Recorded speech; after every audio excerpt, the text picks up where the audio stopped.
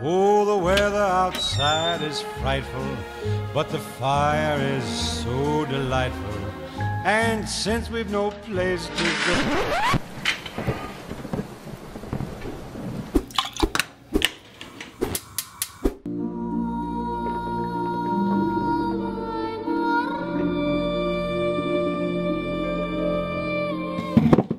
Well, Merry Christmas, everybody. This weather sucks.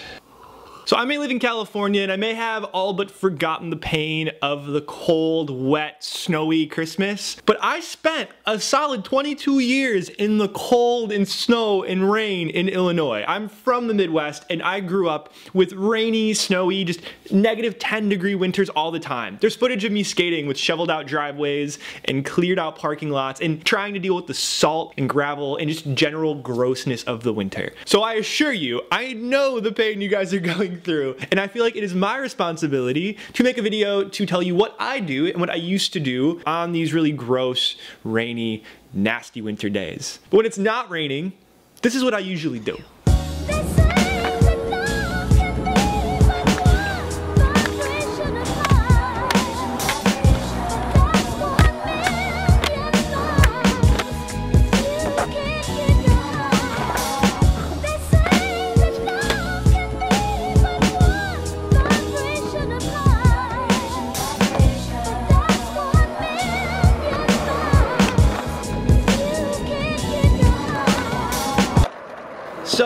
It is December 24th right now. At least I think it is when you're watching this. Merry Christmas to everybody. And to start off, the first thing that I usually do, whether or not it is raining or snowing or sleeting or just thundering ridiculously outside, is that I wake up in the morning and I watch YouTube videos or Instagram clips to catch up with what went down while I was asleep. In the winter, it's especially fun. I think all through my like middle school and high school careers, being able to see my friends on YouTube and Instagram, well, not really Instagram, but YouTube, helped me get through those times and I could kind of live vicariously through all my friends overseas and living in warmer climates. Luckily, I'm that guy now for y'all, so you can always subscribe, watch my videos, and make me some AdSense money.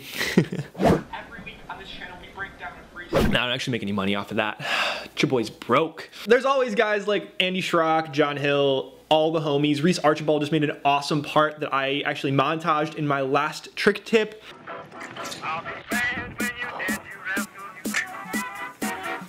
Guys like Connor Burke have some of the best footage ever and I will be very soon making a video of a bunch of my favorite YouTube videos related strictly to freestyle for you guys to watch. I'll make that some other time in the future. Of course, another go-to when I uh, can't quite get it on the board is I play video games. Maybe some skate, maybe some Tony Hawk, perhaps skate or die.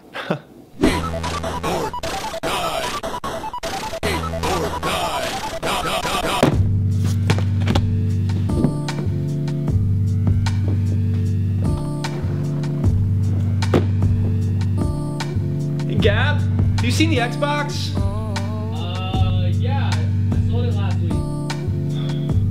Tight. Yeah. Yeah. Yeah, okay, that's out of the question. I wonder if there's any parking garages around here. There's somebody walking their dog in the rain. I don't, why? He doesn't want to be outside. No, none of you want to be outside right now. Get a treadmill. And like maybe you're like me and you feel like you should be training and cross training every minute of the day because you're an active competitor and possibly even the second best freestyler in the world. Stay here for Hi, Hey, How you doing? I'm doing really well. How are you? This guy's the second best freestyler in the world. But more importantly, have you guys seen this freestyle skate park? Uh, no, but if you do want to keep your skills on point and you want to be practicing even when you can't actually practice skateboarding, balance boards are a really good thing to do. Uh, I made one out of a fo foam roller. I just hit myself in the chin. Should I refilm that? no? Leave it? Okay. I recently made one out of a foam roller and a skateboard deck, and uh, it works okay. It, it's a good way to keep your balance and kind of tune your balance that you would have for manuals or grinds or whatever you're doing, even when you can't actually be on a board with wheels. Uh, all you need is a little foam roller. This is a just general cheapo foam roller from like Target that I use to roll out my back because I'm falling apart, y'all and a board that I got from Open Source Skateboards with a little waltz graphic engraved on it. I haven't looked at this in a while, and I forgot how pretty this board was. She's a beaut, y'all.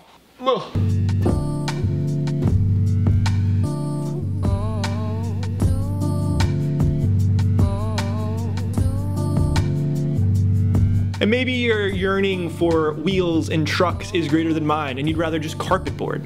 That's cool too.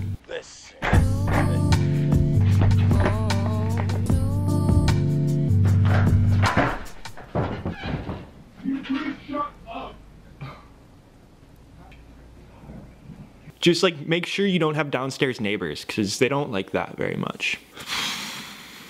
And if you still have the itch to skateboard and balance boards and carpet boards and whatever else can't really fix it, you could always just daydream about skateboarding. I spent so much of my time in high school and middle school sending texts to friends of just trick ideas, ideas I wanted to film, and just sort of daydreaming about tricks I wanted to do once the snow was melted. And that community, that sense of community that I had in freestyle, and that group of friends that I found through skating means so much to me even today. Uh, I can't say that enough how much uh, the, the sense of community and the social aspect of this sport has really really changed my life and affected uh, how I live and uh, the place I am.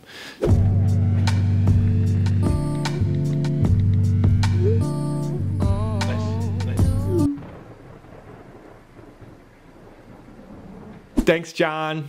Miss you, buddy.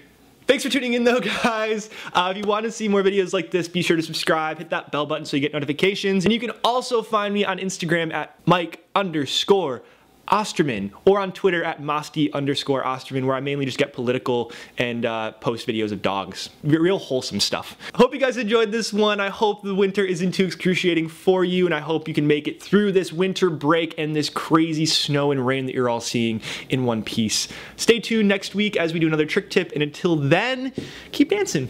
And uh, peep the waltz gear. check it out in this tag, y'all. Waltz skateboarding long sleeves. The best stocking stuffer you can possibly find on the internet this year. I promise.